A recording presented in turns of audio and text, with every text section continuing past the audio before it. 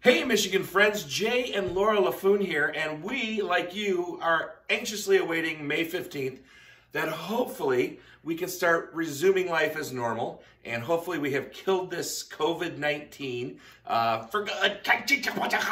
But the bottom line is this, we're all in this together. Uh, we're not in the same boat, but we're in the same storm been a great thing we've seen on Facebook, but we got some exciting news. We are. We're excited to share with you on Tuesday night, May 12th at 7 p.m. We are going to be partnering with Thrivent Financial to bring to you a webinar about managing your money and your marriage in the midst of this mayhem.